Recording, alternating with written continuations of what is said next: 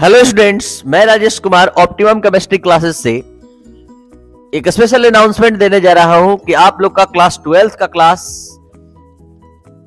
मंगलवार, यानी 15 फरवरी ट्यूसडे से स्टार्ट होने जा रहा है। आप सभी स्टूडेंट से रिक्वेस्ट है कि जो भी स्टूडेंट आपके सर्किल में है प्लीज़ उन लोगों को इन्फॉर्म कर दिया जाए, ताकि उन लोग का क्लास टाइम पर स्टार्ट हो जाए और आप लोग का हेल्प लगातार मिलता रहा है। इसलिए हमने ये इंफॉर्मेशन देने के लिए सोचा। Thank you